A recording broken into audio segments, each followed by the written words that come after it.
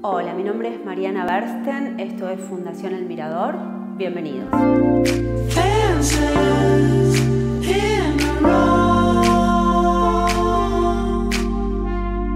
La muestra que inauguramos ayer eh, está curada por Camila Sol, inspirada en una frase de Baudelaire, que es ¿qué es el arte? y se responde, dice prostitución.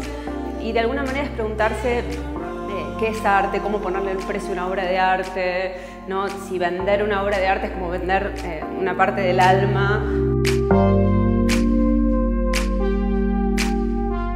La idea fue crear un espacio que eh, no solo fuera una galería de arte, por eso constituimos una fundación que es sin fines de lucro eh, y a nosotros en particular nos interesan el arte como una herramienta transformadora.